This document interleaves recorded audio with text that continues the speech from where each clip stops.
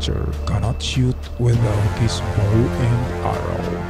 But a true treasure hunter can operate without his metal detector only by the use of his knowledge and prowess in decoding treasure codes and sound. Hello lovely people all over the Philippines, mga katiyats, brothers and sisters, how are you today? Welcome back sa ating channel para sa ilang minuto na naman na pagtatalakay ng mga treasure markers na inyong pinadala at kung kayo'y magpadala, send it to my email, surigawsan, or sa aking Facebook, ang Omamor. Ngayon, bago tayo magpatuloy, ako'y mag-shout out muna. Okay, at ako'y mag-shout out kina Gregorio Nubal, Masayon Marlon, Gary Manatad, Lito Calvo Kahali. Also, shout out kay Raul Trangia, Jason Mangawang, Val Sulpong, Kings of Kings. Ganun din kay Rico Mausisa, shout out sa inyo guys. Kay Rosel Juben, Randoy TV, RJ Nuses, E-Mike Vlogs, and also shout out sa Doc Vlogs Treasure Marker, Melvin Barrientos, Ramil Mangon, Roland Lapidis Lutse, and to Rolly Ponciano. More shout out for Nilda Montano, Mark Lloyd Quintana, Moises De Irio, Yolanda Capuyan, Angela Ramos. Also to Elia Jean, Ilya Jane Manayon, Danilo Maglasang, Boy Wakwak, and to Pichio Himentiza at sa hindi ko mga nabanggit na pangalan guys, shout out sa inyong lahat. Tayo na ngayon magpatuloy sa ating treasure marker analysis. Maraming salamat.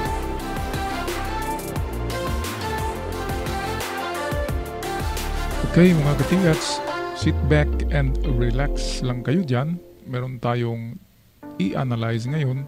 Ito'y remapping na ng site na ito. Ang, ito kasi ay multiple treasures, uh, treasure site.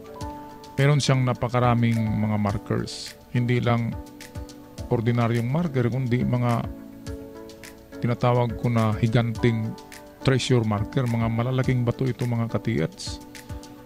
Sa unahan yan ay mayroong malaking turtle, mayroong malaking uh, uh, hugis puso, mayroong malaking uh, Galapagos turtle, yung isang klaseng turtle, yung humpback, tinatawag natin. Okay, ito ay pinangalanan ko guys na perfect treasure under marker. Kasi dito sa itong sign na ito yung magaganyan ito kasi guys, ang history ng simbolo na ito ay ito yung pouch. Kung naalala nyo yung mga kapanahonan ng cowboy noong unang panahon, ang lalagyan ng mga ginto, pera ay ganito. Tinatalian lang dito, parang maliliit na sako yan. Tingnan natin parang teardrop ang sign na yan. Kaya treasure under or treasure in front ang treasure dito. Okay, bago natin to tatalakayin guys, ay ipasyal ko muna kayo sa iba pang litrato. Kaya mga katiets, kung sino man ang may-ari ng treasure site na ito, dahan-dahan lang kayo dyan. Sa pagukay, huwag niyong madaliin. Kasi napakarami dyan. Sa tingin ko nasa tatlo. Tatlong giveaway eh, at isang malaking deposito. Pero huwag niya kayong mag... Huwag niyo nang isipin pa yung malaking deposito. Yung maliliit lang ang ating hanapin. Okay, ito yung isang itsura ng bato sa isang angle. Nandito yung treasure under. Kaya ang bato na ito guys, ay napakahaba niyan hanggang ganyan. Nag-curve kasi yan dito. Sa estimate ko ay nasa 12 meters ang haba ng bato na yan. At ang, ang taas niya ay merong isang tao dito. So atin yan ilagay dito sa isa, dalawa, tatlo, apat, lima. Mga anim na tao ang haba niyan. Ang laki ng bato niyan ay anim na tao. Therefore, halos dalawang itong palapag ng maliit na house. Kung ilagay natin dito guys ang maliit na bahay ay dalawang palapag na yan. Nagaganyan yan.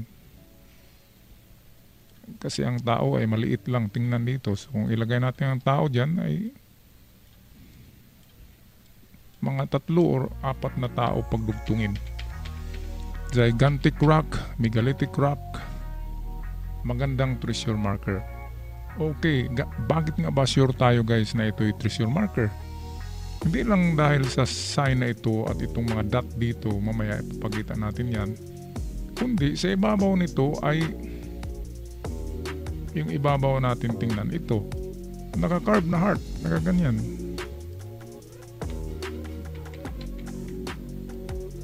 Okay, at ang pinuntiryan niya ay itong banda rito. Kaya ang treasure dito guys, it can be nasa ibabaw lang ng bato na ito. Ang takip. Kasi napakalapad na bato yan. Imposible naman na walang nilagay dyan sa ibabaw ng bato. Na napakalapad niya na parang lamisa yan. Ito yan. Straight yan na malapad. Nakaganyan. Kaya imposible na hindi binutasan yung bato na yan. Ngayon, ang napakaganda dito, specialized design ito guys. Kasi nandito yung malaking turtle at yung mata niya, meron niyang mata isa. Banda rito ay at kanyang ulo ay diyan niya nakatingin sa malaking bato na yan. Nung unang decoding natin dito ay of course dinicode natin na merong treasure ang turtle sa baba nito kasi wala siyang paa. Ulo lang ang meron kaya lang pag nandyan pa ang ulo ng pagong merong tsansa na ang treasure ay nasa unahan pa rin kasi nandun, nandyan pa yung ulo niya. Pero kung wala ng ulo ang pagong, yung kanyang bahay na lang, sure ball na nasa baba talaga niya ang item dito. Okay, kaya ito yung ito yung teardrop guys. Ito yung under the uh, treasure under sign. Yan na butas. Okay, so ngayon umpisahan natin ang pag-decode nito guys, na familiarize nyo ba ang area? Merong malapad na bato sa kanyang harapan at merong parang humpback. Parang likod ng pagong pa rin dito. Okay, at merong malapad rin na bato rito. Pero ito yung maliit lang. Okay, hindi ito pangtakip. Ang pangtakip sa treasure ay malalaking bato at malapad. Alright, so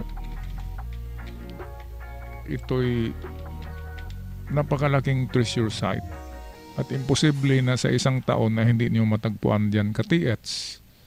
Ang treasure, gamitin niyo na lang ang inyong sinasabi natin na third eye basta't meron na akong binigay na guide kung hindi man tatama siguradong malapit na malapit lang talaga sa item ang ating decoding. Okay, so huwag kayong sumurrender kasi nandyan na yan, nandyan na ang nakatago na kayamanan. Ang atin lang dyan ay ang pagpursige. Okay, so sa buwan na ito ay nakahukay tayo ng isang hukay, isang tunnel, walang nakita. So, back to the drawing table. Ika nga ay magplano muli at atake na naman by next month. Dahan-dahan lang. Total ang lupa na yan ay sa inyo naman. So walang sisita sa inyo dyan. Okay, so nasaan na ba yung ating magandang picture? Ito yan. All right. Ito na tayo guys. Kitang-kita nyo, di ba? Ang hugis ng bato na ito, kung top view, ay parang barko guys. Parang yung aircraft carrier na gaganyan medyo matulis dito. Nandito yata yung heart sign na gaganyan. At ang heart ay nagaturo dito banda. Hindi sa dulo ng barko, kundi medyo sa gilid. Okay, meron kasing bato dito yan na may, may dalawang butas. Ito yan guys, ang dalawang butas na yan, okay, pwedeng iyan ang tinuturo ng puso nitong puso, pwedeng siya ang tinuturo. Ang dalawang butas na yan, galing dito sa ibabaw, pwedeng yan ang tinuturo. Ang puso, ano bang ibig sabihin yan? So, pwedeng dalawang hakbang na lang dito. Isa. Okay, dalawang hakbang. So, dito ang hukay. Ang first hukay niyan ay 2 meters lamang straight i-align nyo sa puso kung nasaan yung puso. Makaganyan guys, i-align nyo ang hukay nyo. Okay, at kung wala sa pangalawang hukay ay 10 meters. Okay, sa puso yan. Sa heart marker kasi, kasi merong heart sa ibabaw nito. Ito. So again, ang unang pag decode dito sa heart guys ay kunin natin ang gitna nito. At una nito ay dito talaga sa ibabaw ng bato. Pukpukin nyo yung itong nakalinya dyan. Ang alignment ng heart ay pukpukin nyo lahat ang parte dyan ng maso. Pag mayroong tutunog, buksan nyo or butasin nyo ang bato na yan. Kasi meron talagang laman ang bato na yan. Kasi napakalaki niyan kahit ako ang magbaon dyan. Lagyan ko ang bato. Kasi napakagandang marker ang bato na yan. Napakalapad. Parang itong aircraft carrier. Ito guys, so naka-triangle yung dulo niya. Tapos mahaba yan dito. Mga ganyan. So imposible na sa lapad na yan ay walang nakalagay dyan. Kahit isang barita lang, basta't matagpuan nyo yung tumutunog na parte dyan guys, yun ang butasin nyo. Ngayon, i-align nyo to at i-target nyo dyan.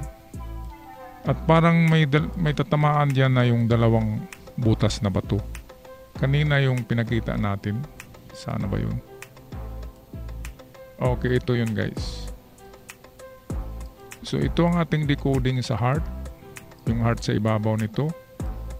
So papunta siya dito sa itong dalawang butas at ala, ang dalawang butas ay 2 meters ang unang hukay at ang pangalawang hukay ay 10 meters. At yan ay naka-align sa puso. Okay, kunin nyo guys ang example ito yung puso sa ibabaw. Kunin nyo ang gitna. Ayan, tapos i-target nyo doon sa uh, 2 meters and 10 meters. Okay, so ito yung ating una diyan. Ngayon punta na tayo sa treasure under which is sa tingin ko ay nakapadal, nakapakadali lang yan hanapin kasi nandiyan na nga yung sign na yan. At ang sign na yan ay talagang ginawa na maganda at malalim daw ito. Ang paggagawa nito ay malalim. Okay, so kulayan natin ng uh, green ang ating lapis. So dito na tayo guys, perfect treasure under. Yan. Ngayon, merong apat dito na butas guys. Isa, dalawa, tatlo, apat. At sure tayo na yan ay treasure sign pa rin. Kasi bakit naman naka-align? Dapat katag-katag yan. Kung yan ay natural holes, kung natural holes yan, dapat ay hindi siya nakalinya. Bakit naman nakalinya yan, di ba?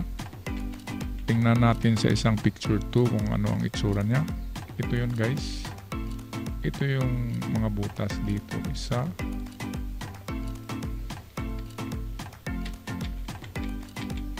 okay nandito yung mga butas na medyo natakpan lang siya ng kahoy pero pag ganyan siya so ang gawin natin dyan sa apat na butas na yan apat yan so therefore pwedeng 4 meters i-align natin ang apat na butas pwedeng 4 meters galing dito.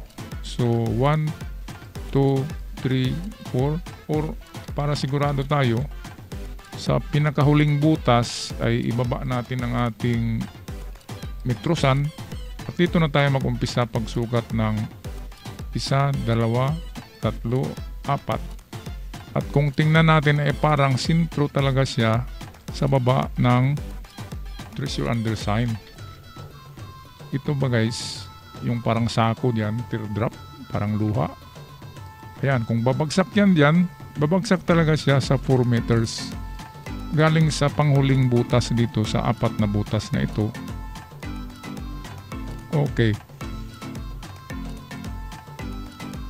Parang intersection talaga sila. Parang diyan sila nagkasalubong. Ayan. No? So, kung apat na metro yan, or lima, ay napakalapit lang yan dito. Kaya treasure under, diyan tayo bababa. Okay, yan ang ating unang pinakauna na pag-decode sa sign na ito, itong apat na butas kasama na itong treasure under natin na teardrop or yung tinatawag natin na pouch or sako. Ganyan. Okay, so ang ating uh, digging hole guys ay dito mismo sa kanyang sa kanyang harapan. Di maklaro yung ating drawing ito. Ang ating digging hole guys ay dito. Ito ay ito banda rito kung saan apat na metro galing sa pinakalas na butas dito sa apat na butas na naka hilera or naka-align nag-drop tayo dito at nagakbang tayo ng apat papunta rito which is yan din ang babagsakan nitong sign na treasure under okay at kung wala dyan guys ay pupunta tayo sa kanyang harapan sa pinakamagandang distansya which is 5 meters pa rin. Or pwedeng sundin natin ito pwedeng 4 na papunta rito sa kanyang harapan mismo. At yan ay naanggol ay naka-align pa rin dito guys. Tingnan nyo. Ayan tapos dito. Ayan. At kung ito'y 4 meters to 5 hirap magsulat guys sa mouse. Magka-arthritis ka nito sa inyong mga daliri. 4 to 5 meters to guys papunta rito. Sa harapan niya. Ito yung pangalawa natin na atake. At napakaganda niya na na portion itong 4 to 5 dito. Bakit? Nasabi ko. Kasi sa harapan nito ay mayroong malapad yan na bato. Ito yan. Malapad na bato yan. Tingnan natin sa close up mayroong close up ito. Ito ito yun guys, so kung nakita nyo malapad yan at malaking bato at nasa harap talaga niya yan. Estimate ko ay nasa 4 to 5 meters yan at yan ay naka-align din dito sa apat na butas. Kung tingnan nyo, ganyan din ang tatamaan niya. Di ba kanina ay bumaba tayo doon. Doon mismo tayo sa harap ng bato na ito. Ngunit kung wala doon sa 2 meters test dig ay dito na tayo. Ito yung pangalawang hukay nyo na bato. Tanggalin nyo yung bato na yan mismo, sa palagay ko yan na ang takip. At sana naman ay giveaway lang yan. Okay, kasi baka yan ay central shaft o yung daanan na napakalalim. Pero itry lang natin hanggang 2 meters ang paghukay dyan papunta rito sa baba 2 meters pag meron tayong makitang mga man-made na bagay or mga marker na mga bato na merong shapes or mga arrangement na bato na kakaiba, yun ay mga marker na magpatuloy pa rin sa paghukay doon sa pinakababa niya. Okay, balikan natin ang ito yan guys. So, dito yung bato na lo, uh, sa banda yung dito yung malapad na bato. At iyan kung bababa tayo dito ay mag-eskwala tayo dito. That is 90 degrees. Okay papunta dyan. At kung nahalata nyo ay yan pa rin ang tinuturo ng apat na bato. Papunta din siya dito. I make that apat na butas. Alright so again ang balikan natin yung perspective. Ito ito yung pinakamalayo niya guys. Ang istorya dito ay meron tayong isang napakalaking turtle. At meron matayan guys at merong ulo at yan talaga ay nakatingin dyan. Pagdating dito, nandito yung sign na treasure under at meron siyang binigay na distansya dito, apat na butas. So meaning apat lang na metro. But bakit hindi tayo pumunta sa 20 meters? Kasi sabi naman ni ni ako, sabi ko na ang bawat butas ay pwedeng 5 meters or pwedeng 1 meter. Ngayon hindi tayo magbigay ng 5 meters na equivalent ng butas kasi ang sign na nandito ay treasure under or treasure in front meaning malapit lang kaya ang apat na butas na yan sa tingin ko ay 4 meters lamang ang equivalent. Okay, kaya papunta siya dito at ito naman ay pababa dyan kaya nagkasalubong sila dito. At eksakto kung dito tayo guys nakatayo nito, kung dito ako nakatayo nito, ang alignment ay talagang sintrong-sintro ang bato na ito na tatamaan ito. Ayan. Ito rin no. Tatamaan ito na bato. Ngayon, ay pwede nyo ring i-check kung ano itong bato na nandito.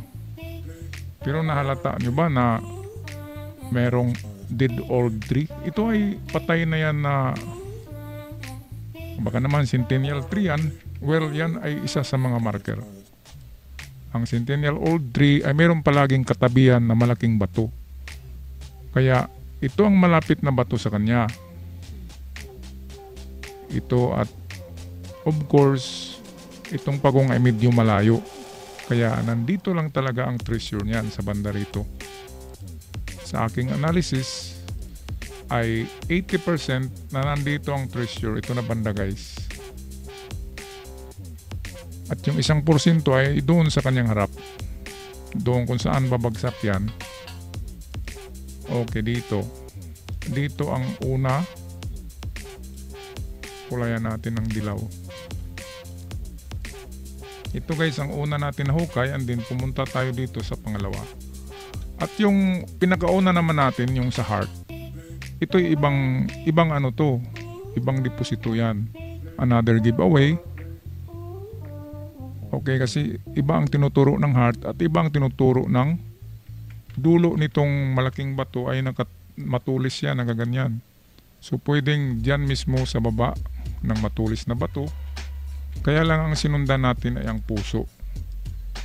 At ang puso ay nag-point siya sa yung dalawang butas. Dito, in dito pala yung dalawang butas guys. Oh. Kaya yan ay nagka-incline pa rin pababa. Nagaganyan pa rin yan. Atin balikan na. Itong dalawang butas ay naka-incline yan. Galing yan dito sa may dulo nitong parang barko. Ang heart ay nandito yan, banda. Ngayon yan ang tinuturo ng heart, itong dalawang butas. Ngayon, pag i-align natin ng heart, ay babagsak din yan dito. Kaya naghukay tayo sa 2 meters at ang pinakamalayo ay 10. 10 meters. So, this is another giveaway. Itong dito ay pangalawa. Ang sa turtle, kung meron man ito sa kanyang baba, yan ay pangatlo. At ang pang-apat niyan, yan ang pinakamalaki na deposito na kung saan uh, tinuturo yan ng Y, letter Y tunnel or letter Y na symbol merong turtle na pagong dyan na yung uh, ang likod ay humpback yung parang kuba na turtle na may, may litra Y at din yung ulo niya ay nakaturo pababa. Yun sa tingin kong malaking deposito at napakalalim nun. Kaya dahan-dahan lang kayo guys iplano nyo ang ang mga project nyo kung ano ang unahin nyo dyan sa kung ako ako dito ka TH ay unahin ko talaga itong sa may kahoy. Ito banda rito ng mga lugar kung saan nakaharap sa sa sign na treasure under dito ako mag-umpisa at yung pangalawa na itong sa dulo ng heart ay mikdat sa dulo ng barko itong banda rito itong dalawang site yan ang sa tingin ko ay giveaway at baka naman mababaw lang. Sa estimate ko, ang lalim niyan ay nasa 3 to 5. Kung hindi 3, hindi 4, 5 meters lamang ang lalim. Alright, ako magpaalam na guys. May the Lord guides you in every move you make.